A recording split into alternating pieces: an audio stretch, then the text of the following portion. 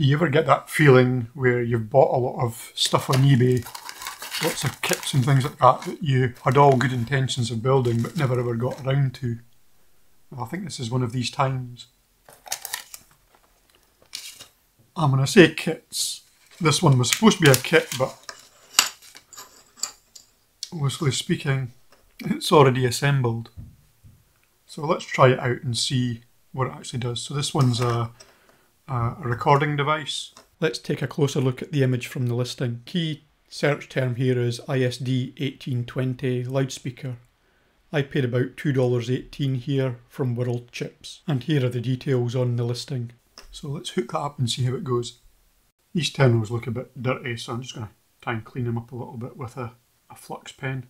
That should help any solder stick. I did a quick check online and from what I can gather the pin that's closest to this capacitor here is the negative pin. Where it's plugged in here, that would make the one with the tracer the positive wire. I'll add links to the manual in the description. So let's see if we can tin these wires first.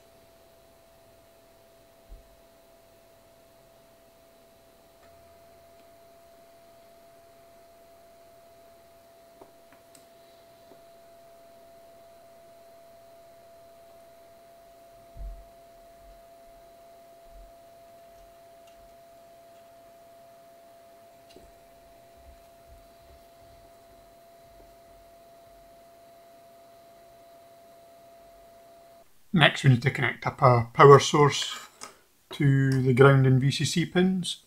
So I believe this can take 3 volts. I've got a 3 volt battery holder here, but it's got a 9 volt style connector.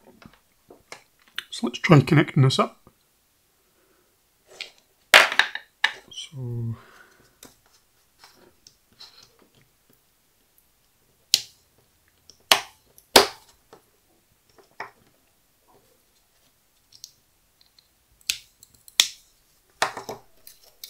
batteries. Let's plug in the speaker.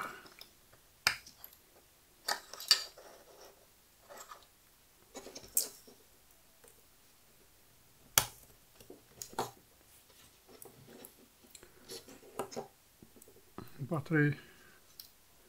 So first one VCC. And next one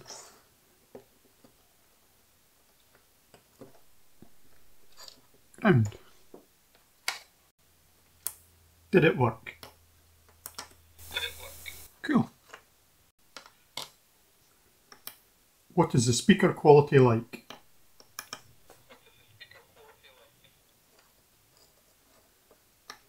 Not very good.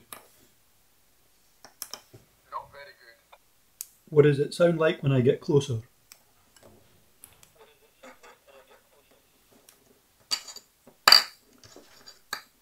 Guess if I hold this off the ground. What does it sound like when I get closer? What does it sound like when I get closer? Oh, I wonder if I can improve the sound quality any.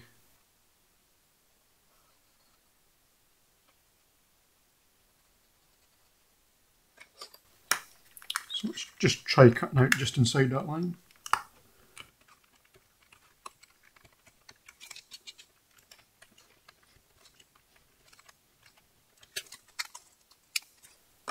What does it sound like when I get closer?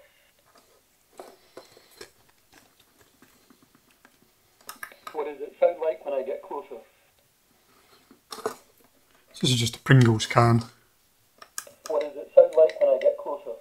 So obviously, um, putting a speaker in a What surround does it sound like when I get closer? What does it sound like when I get closer? sounds a lot better. What does it sound like when I get closer? What does it sound like when I get closer? So that improves the quality of it a lot. I wonder if there's anything else I can do to try and improve the quality.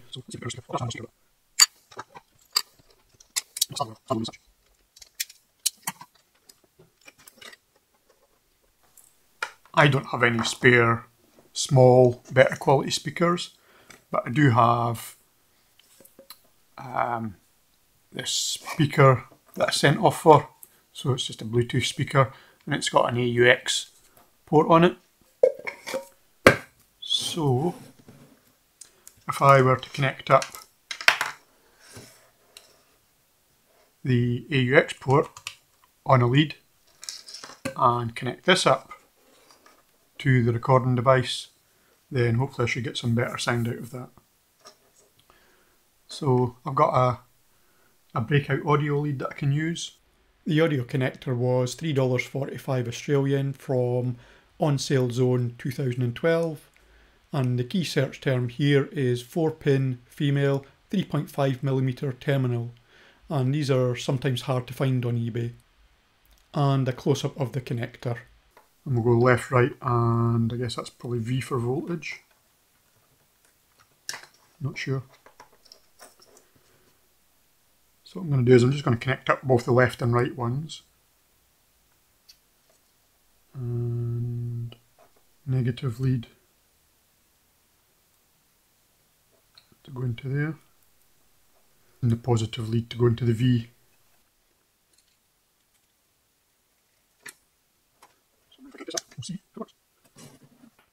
You're watching Random Smith.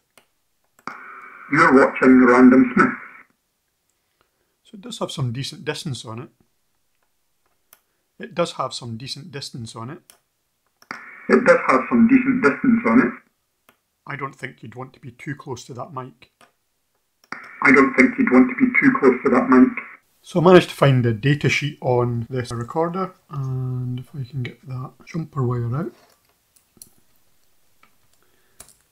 Oops. So that says FT on it. So that's a, like a feed through or pass through. So if I were to connect that to the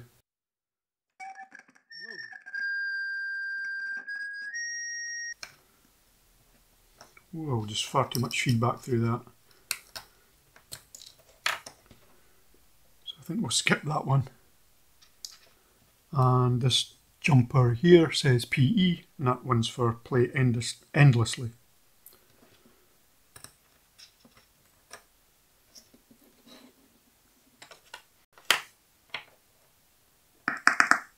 I, I don't think you'd want to be too close to that mic. I don't think you'd want to be too close to that mic. I don't think you'd And if you connect the recording device up to a better quality speaker, one that's got a volume control, then it sounds better still. How you doing, Daisy? And Daisy's our budgie. How you doing, Daisy? Let's see if I can do a nice job for this little speaker.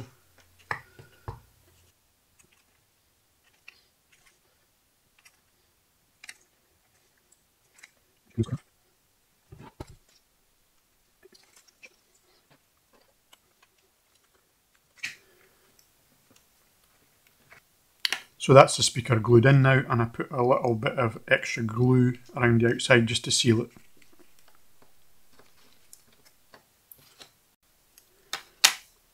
I'll just mark this up for some holes.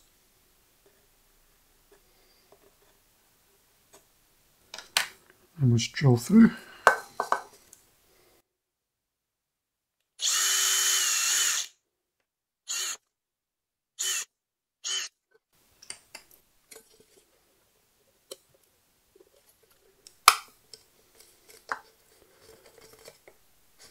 Want to get these nylon screws through.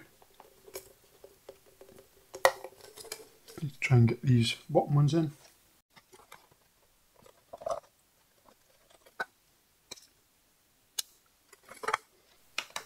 And we'll just mount some standoffs onto those.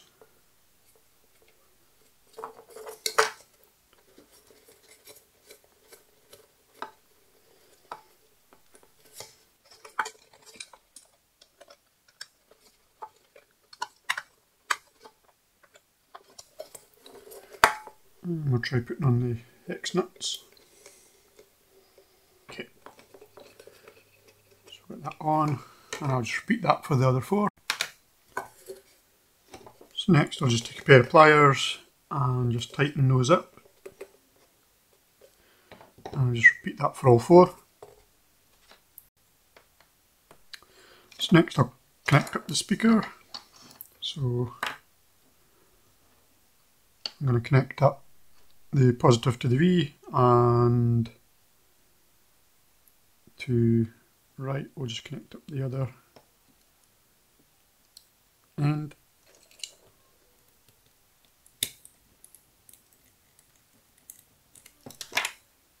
And then we'll be able to connect the voice recorder to the other end, like so. So I need a hole through here for the power and for the speaker. So we'll just draw some holes tidily to the side there. Let's feed the speaker wires through.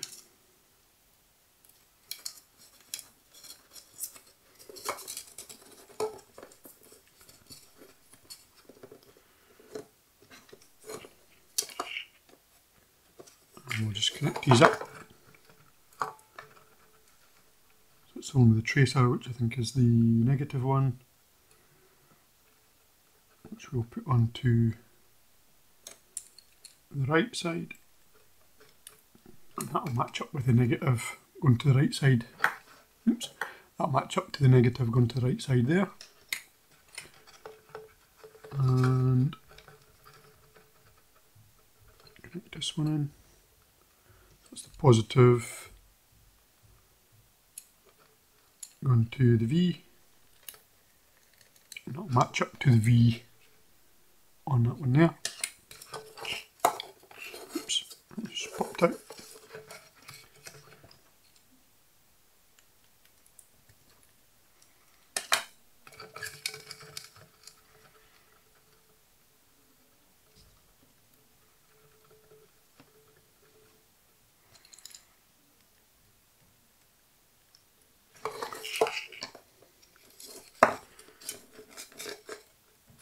Pull that around and connect up the speakers.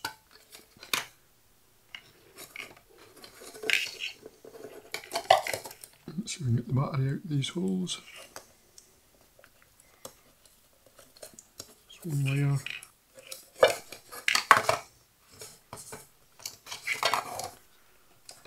So now we can have the speaker on top.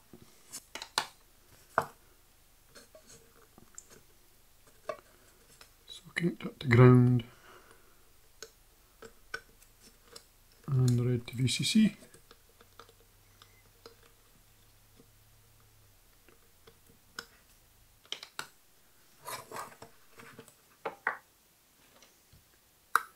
Does it still work?